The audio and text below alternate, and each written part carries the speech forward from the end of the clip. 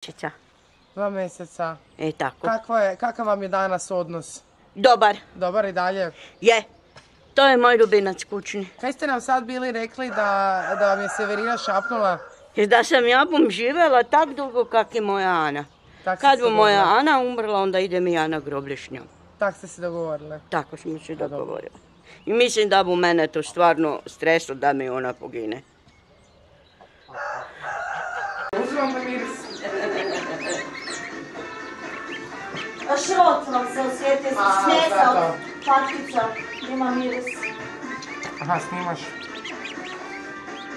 Kupila još bila jedno par, ne znam koliko bilo, ali je ona bila jedina među njimi crna i ona je ostala.